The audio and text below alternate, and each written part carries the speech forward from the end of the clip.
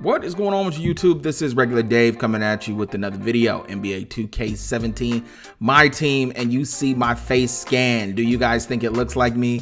It was the best one I was able to get, man. This is the only face scan I've got that's not actually deformed.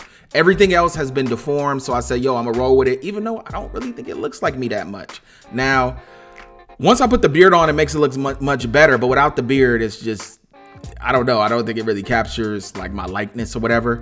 Um, but it's the only one I got where my forehead wasn't hanging over my nose or I didn't have two lips or something. My eyes wasn't stapled shut or something like that. So I'm rolling with this one until further notice because I want to get into this my player. Um, and I can't be sitting up here doing face scans. Now I know you guys said, Dave, all you got to do is go in the bathroom.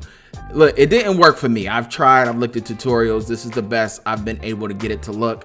Um, I'm about to get on this my career. Look, I'm not gonna be bringing those story videos, man. There's enough of that. You can get your full fill of my career story on YouTube. Also, playing the game yourself. I will bring you things that I feel like I just want to put out with 2K. I think I'll have enough content where I don't have to upload every story of uh, my career. But I'm about to get on it, uh, and that's how I'll get a lot of my gameplay. I'm gonna be playing my team this year the whole thing, man. I can finally get off MLB The Show exclusively and start playing another sports game.